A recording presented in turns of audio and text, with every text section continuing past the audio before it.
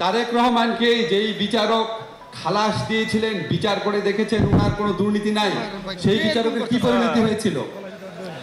আর বেগম জিয়াকে যেই বিচারক শাস্তি দিয়েছিলেন, সেই বিচারক কি পুরস্কার পেয়েছিলেন? তত্ত্বাবধায়ক সরকার বাতিলের যে রায়, সেই রায়ের পক্ষে যারা ছিলেন, তারা প্রত্যেকে চিফ জাস্টিস হয়েছেন।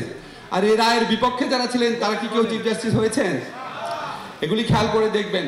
তো আমাদের কাছে মনে হয় কি দুঃখ লাগে? এরকম আরও হাজার হাজার এক্সাম্পল আছে। শত শত এক্সাম্পল আছে। আমরা যখন আমরাও তো আইন অঙ্গনের মানুষ আইনের শিক্ষক বা ছাত্র। আমাদের অনেক বন্ধু বান্ধব আইন অঙ্গনে আছে। আমরা যখন এরকম চিত্র দেখি তখন মনে হয় ন্যায় বিচার প্রতিষ্ঠা করা যার দায়িত্ব সরকারের যেই বিভাগের দায়িত্ব সেখানেই যখন এত অন্যায় খবরদারিত্ব হয় সেখানেই যখন অন্যায়ভাবে ইচ্ছা পূরণের বিচার হয় তখন দেশে কি অবস্থা আমরা সেখানে সহজেই অনুমান করতে পারি। আজকে আপনার এই আইনের শাসন বা আপনার স্বাধীন বিচার ব্যবস্থা বা মানবাধিকারের যে অনুপস্থিত, সেটা এই সমস্ত সমস্যা, গণতন্ত্রের সমস্যা, নির্বাচনের সমস্যা, এই সমস্ত সমস্যা বাংলাদেশে সব যুগেই ছিল কম বেশি। কিন্তু আমি যেটা সব সময় বলি, এই আমলের মতো এটা কখনোই ছিল না। আমরা কখনোই এমন কোনো আমল পাই নাই যেখানে বাংলাদেশ ব্যাংক লুট হয়ে যায়, সেন্ট্রাল ব্যাংক লুট হয়ে যায়। আমরা কখনোই এমন কোনো দেশ পাই নাই যেখানে শত শত মানুষ গুম করা হয়। আমরা কখনো এমন দেশ পাই নাই যেখানে বিরোধীদের নামে লক্ষ লক্ষ মামলা করা হয়। সেদিন পত্রিকায় বললাম, বিএনপির একজন নেতার বিরুদ্ধে নাকি পাঁচ শতাধিক মামলা করা হয়েছে। মানুষের নির্লজ্জতার নিষ্ঠুরতার একটা সীমা থাকা দরকার। আমি হজ করতে গিয়েছিলাম সৌদি আরবে। আমি যে হোটেলে ছিলাম, সেখানে যে দারোয়ান ছিলেন, শফিক ভাই আমি বললাম আপনি দেশে যান না? বলে আমি পাঁচ বছর যাব দেশে যেতে পারি না। কেন যান না? বলে আমি আসার দুই দিন আগে আমার বিরুদ্ধে মামলা দিয়েছে। আমি কেন? বলে আমি কিচ্ছু জানি না। দুই দিন আগে মামলা দিয়েছে। আমি এখন পর্যন্ত কিছুই জানি না কেন মামলা খেলাম। আমরা আপনার কোনো কিছু আছে? বলে আমার এক চাস্তো ভাই সে ওই এলাকায় থাকে না। আর তার এক চাস্তো ভাই নাকি বিএনপি করে। এই জন্য সে মামলা খেয়েছে। এরকম আরও অনেকের সাথে আমার দেখা হয়েছে। খুব দুঃখ লাগে দেশটাকে কোন জায়গায় নিয়ে যাওয়া হয়েছে। তো আমরা যখন এই সমস্ত পরিস্থিতি দেখি, তখন সবচেয়ে দুঃখ লাগে, আমি নিজে একজন সাংবিধানিক আইনের শিক্ষক, আমি যখন আমার ছাত্রদেরকে বলতে যাই যে এই দেশে সেই সরকারই আসবে, যেই সরকার জনগণের ভোটে নির্বাচিত, আমাদের আর্টিকেল সেভেনে বলা আছে, তখন আমার ছাত্ররা হাসতে শুরু করে। আমি যখন বলি যে নির্বাচিত জনপ্রতিনিধির মাধ্যমে জনগণের ক্ষমতা প্রয়োগ করা হয়, আপনারা সবাই আইনজীবী আছেন, আপনারা জানেন আর্টিকেল সেভেন কথাটা আছে।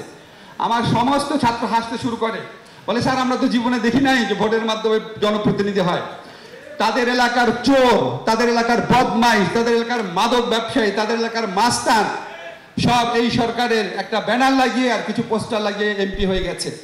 মানুষের ভোটাধিকারের সাথে, মানুষের স্বাধীন ইচ্ছার সাথে সংবিধানে প্রদত্ত যে জনগণকে যে মালিকানা দেওয়া হয়েছে, এর সাথে এমন নির্মমতা, এমন নিষ্ঠুরতা, এমন তুচ্ছতা ছিল আমরা বাংলাদেশের ইতিহাসে দেখি নাই। আমাকে যখন আমি সরকারের সমালোচনা করি, আমাকে প্রশ্ন করে, স্যার বা ভাই, আপনি কোন পক্ষে? আমি বলি, আমি ভোটাধিকারের পক্ষে। আমি ভোটাধিকারের পক্ষে, আমি উনিশশো চুরাশি সন থেকে তার বহু আগে থেকে পেপার পড়ি। আমরা জীবনে কখনো, আমরা নির্বাচনে কারচুপি দেখেছি কম বেশি কারচুপি দেখেছি। কিন্তু আমরা নির্বাচিত হওয়ার আগে একশো একান্ন জন নির্বাচিত। এটা কি আমরা বাংলাদেশের কোনো পৃথিবীতে কোথাও দেখেছি? আমি দেখি নাই। আমরা নির্বাচনের আগের রাত্রেই নির্বাচন। এটা কি পৃথিবীতে কোথাও দেখেছি? কোথাও দেখি নাই। এই নির্মম তামাশা বন্ধ করতে হবে। নির্বাচনের নামে এই সমস্ত ফাইজলামি বন্ধ করতে হবে। এটা কোনো ইলেকশন না। এবং বাংলাদেশে যদি স্বাধীন বিচার ব্যবস্থা থাকতো, আমি বিশ্বাস করি, আমি কোনো পক্ষপাতিত্ব করে বলছি না। আমি বিশ্বাস করি এই দুইটা নির্বাচনে অবৈধ ঘোষিত হওয়ার মতো। এগুলি কোনো ইলেকশন না। এবং আপনারা জানেন যে আমাদের সংবিধানে আছে আর্টিকেল সেভেনে ওনাদের তৈরি করা সংবিধান। আর্টিকেলের সেভেন বি সেভেন বিতে আছে সেভেন এতে আছে। যারা এই সংবিধানের প্রতি মানুষের অনাস্থা তৈরি করবে, মানুষের মনে এক ধরনের তাচ্ছিল্য ভাব সৃষ্টি করবে, এই সংবিধানকে ডিমিট করবে, তারা নাকি মৃত্যুদণ্ডযোগ্য অপরাধ করবে। আপনারা এই দুইটা ইলেকশন করে জনগণের যে মালিকানা দেওয়া হয়েছে আর্টিকেল সেভেনে সেই জনগণের মালিকানা সম্পর্কিত বিধানটাকে হাস্যকর করে তুলেন নাই। মানুষের কাছে নির্বাচন ব্যবস্থা, সংবিধান ব্যবস্থাকে হাস্যকর করে তুলেন নাই আপনি একটু ঠান্ডা কথা চিন্তা করে দেখেন তো, আর্টিকেল সেভেন এ অনুযায়ী এখানে অনেক সাংবিধানিক আইনের বিচারক আছে যেই পদ্ধতিতে নির্বাচন করা হয়েছে, সংবিধানের প্রত্যাশা কি ছিল? আপনি বলতে পারেন সংবিধানে অবাধ, সুষ্ঠু এটা তো লেখা নাই। আমরা একটা কনস্ট্রাকটিভ ইন্টারপ্রিটেশন বলি লতে সংবিধানে বলেছে আর্টিকেল সেভেনে জনগণ সকল ক্ষমতার মালিক, জনগণের পক্ষ থেকে এই ক্ষমতা সংবিধান বর্ণিত পন্থায় প্রয়োগ করতে হবে। সংবিধান বর্ণিত পন্থা হচ্ছে নির্বাচনের কথা বলেছে। সংবিধানকে আপনার মনে হয়, সংবিধান এটা বলেছে যে মাইরা ধইরা পিটায়। সবাইকে পিটায়, ভর্তা বানায়, কাউকে ইলেকশনে দাঁড় করাইতে না দিয়া ইলেক্টেড হয়ে গেলে এটা সংবিধান বর্ণিত পন্থা এটা মনে হয়? নির্বাচনের আগের রাতে নির্বাচন করা এটা সংবিধান বর্ণিত পন্থা এটা মনে হয়? তাতে আপনারা সংবিধান বর্ণিত পন্থায় ক্ষমতায় আসেন নাই। সংবিধান প্রণীত পন্থায় ক্ষমতায় না আসে, আপনারা সংবিধানকে যতটুকু ডিমিন করেছেন, যতটুকু নামিয়েছেন, জনগণের কাছে সাংবিধানিক ব্যবস্থা সম্পর্কে যে অনাস্থা এবং জনগণের কাছে যে হাস্যাস্পদ করে তুলেছেন, আর্টিকেল সেভেন এ অনুযায়ী আপনারা মৃত্যুদণ্ড যুগে অপরাধ করেছেন কিনা সেটা ভেবে দেখেন। আমাদেরকে অবাধ এবং সুষ্ঠু নির্বাচন করতে হবে, এটা কোনো বিকল্প নাই। আপনারা দেখবেন অনেক সময় খুব দুষ্টু তর্ক চলা হয়, যে উনার বিকল্পকে উনার বিকল্পকে অনেক কথা বলা হয়। আমি এটার উত্তরে সবসময় একটা কথা বলি, বিকল্পকে এটা বাংলাদেশের মানুষ ঠিক করবে। বাংলাদেশের প্রত্যেকটা মানুষের ভোটাধিকার আছে। বাংলাদেশের প্রধানমন্ত্রীর একটা ভোটাধিকার ভোটাধিকার, বাংলাদেশের একটা রাস্তার ফকির, তারও একটা ভোটাধিকার। এবং বাংলাদেশের সংবিধান অনুযায়ী উনিও একটা ভোট দিবেন, রাস্তার ফকিরও একটা ভোট দিবে সরকারও একটা, সরকারের লোকও একটা ভোট দেবে, বিরোধী দলের লোকও ভোট দেবে। নিরপেক্ষ লোকরাও একটা ভোট দিবে। সবার ভোটের ভিত্তিতে যিনি আসবেন তিনি বিকল্প। এই বিকল্প টক শো এর মধ্যে সরকারের কিছু সুবিধাভোগী লোকজন প্রশ্ন তুলবে বিকল্পকে বিকল্পকে এটা নির্ধারণ করার জন্য নির্বাচন পদ্ধতি রয়েছে। নির্বাচনের মাধ্যমে যদি কেউ ইলেক্টেড হয়ে আসে, সেটা যদি তারেক রহমানই হোক, আজকে বা আগামীকাল, বা সেটা যদি আওয়ামী লীগের যে কি হোক, যে কেউ হোক, এটা আপনি একসেপ্ট করতে বাধ্য, এটাই বাংলাদেশের সংবিধান। আমাদেরকে মাঝে মাঝে প্রশ্ন করে আচ্ছা ইলেকশন হলে তো সমস্যা এখন? জেনুইন ইলেকশন হলে মাঝে মাঝে একান্ত আলোপে দেখি। বিদেশিদের সাথে আলাপের সময় সমস্ত প্রশ্ন তোলা হয়। কি সমস্যা? ইলেকশন হলে তো বিএনপি ক্ষমতায় চলে আসবে। বিএনপি জামাত ক্ষমতায় চলে আসবে। তারেক রহমান একদিন ক্ষমতা চলে আসবে। আপনার আসলে সমস্যা কি? মোদি ইলেকশনে বিজয় হয়ে ক্ষমতায় আসতে পারে। এই আশঙ্কার মুখে কি কংগ্রেস একের পর এক কারচুপিপূর্ণ নির্বাচন করেছে? করেছিল? মোদিকে কি জেলে দিয়ে নির্বাচনের অযোগ্য ঘোষণা করেছিল? তাহলে সেই দেশ বাংলাদেশে সে ফ্রিজ করে কেন? সেই দেশ বাংলাদেশে সে ইলেকশনে জিততে পারবে, কে পারবে না, সেই জিনিস ডিসাইড করার ক্ষেত্রে ভূমিকা রাখে কেন? এবং তারা যখন ভূমিকা রাখে, আপনারা দেখবেন আমেরিকা ভিসা নীতি দিলে আমাদের সরকারের লোকজন, সরকারের পক্ষের লোকজন চিৎকার চেঁচামেচি করে, বিদেশিরা হস্তক্ষেপ করছে কেন? ফাইন যখন ইন্ডিয়া দুই হাজার চোদ্দ সালে হস্তক্ষেপ করে, তখন সেটা বিদেশি হস্তক্ষেপ না? আঠারো সালে ইলেকশনকে যখন অভিনন্দিত করে সবচেয়ে আগে সারা পৃথিবীতে এটাকে গ্রহণযোগ্য করার জন্য তৎপরতা চালায়। তারা তখন বিদেশি না? তাদের লোকজন যখন এখানে বিনা চাকরিতে না, বিনা ভিসায় কত বিলিয়ন ডলার বলে রেমিটেন্সে পাঠিয়ে যায় সেগুলি হস্তক্ষেপ না?